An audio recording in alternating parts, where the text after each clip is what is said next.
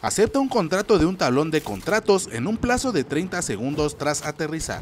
Pues bien amigos, para completar esta misión primero debemos saber dónde se encuentran los tablones de contratos, así que por aquí te dejo el mapa donde podrás encontrar cada uno de estos contratos. Y en este ejemplo, yo te recomiendo que aterrices justo en ese lugar que te estoy marcando en el mapa, ya que aquí vamos a encontrar un tablón de contrato. Así que llegamos por aquí, aceptamos el contrato y de esta manera estaremos completando esta misión y recibiendo 20.000 puntos de experiencia.